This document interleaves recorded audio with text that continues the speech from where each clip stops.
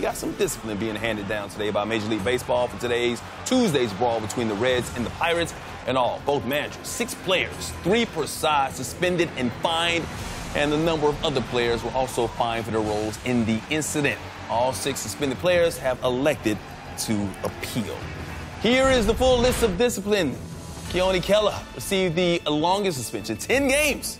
He's a reliever for throwing at the head of Derek Dietrich. Amir Garrett got eight games for rushing the Pirates dugout and initiating the brawl.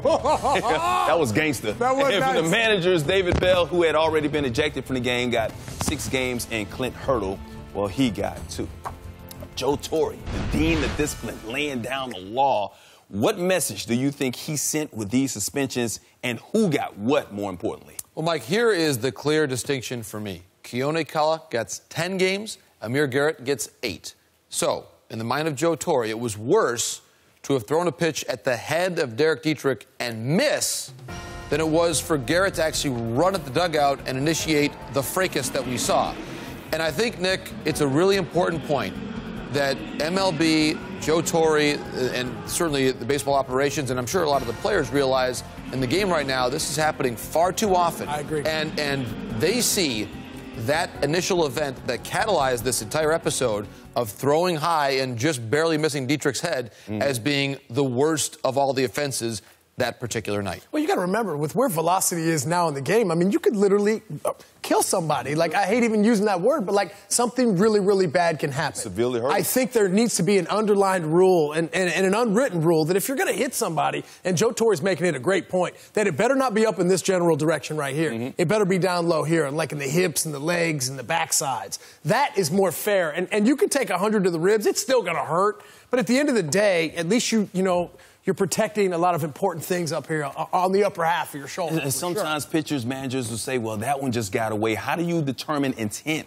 Well, it's a great question, Mike. And I think that's where you've got Joe Torre with all his years in the game. Yep. Uh, he understands the umpires file their reports. They usually have a pretty good indication, and Nick knows this, of, of the way that they're viewing things. Umpires usually know what's on purpose and what's not. But, Mike, to your question, the onus right here by this discipline is being placed on the managers mm-hmm. because it's hard to legislate intent, to put legislation in actual written words there.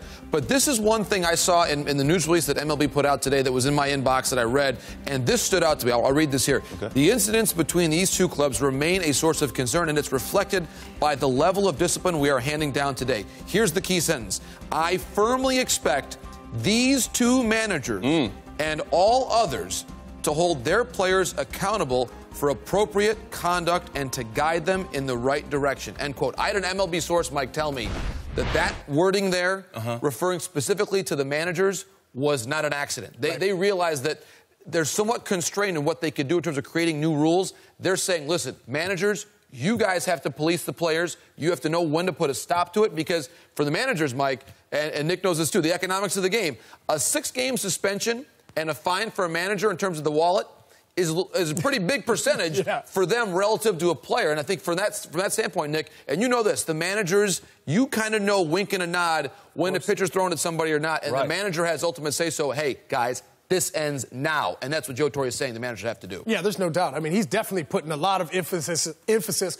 on the manager, the strength of the manager, right? To be able to handle his team. Because at the end of the day, we can't have our managers duking it out. I mean, yeah, for a minute it'd be kind of fun to watch, but at the end of the day, we're, we're we have a brand. Major. League mm-hmm. Baseball has a brand, and if we have our managers and our leaders in the game, right, you know, participating in things like this, that can't happen. Like I always say, man, that ain't it. Uh, But these two teams have a history of something that happened in April Kela, of course. And there's always these unwritten rules. The players got to be players. You got to retaliate. If somebody throws at one of the batters, the other pitcher, the other team has to throw at it. When does it stop? When does it stop? Like, Does a fine make it stop? Does a big suspension like this make it stop? When does it stop? Well, I I think, Mike, it has to happen culturally. And, and Nick knows this from, from playing recently and now being involved in, and, and seeing minor league players and the way the game has changed culturally. The old school mentality of retribution, because this, of course, goes back, as you see it there, to April uh, when Dietrich admired a, a home run off of Chris Archer, and then there was retaliation. Then, if we're going to let the kids play, as the marketing slogan says from MLB. Now, that comes from Major League Baseball. Let the kids play. So, if that's the, the law of the land, if that's the tone that's set from the commissioner's office marketing, we talk about marketing young stars. Right. If we want to let them show their personality and show their joy on the field, sometimes maybe there is some offense taken.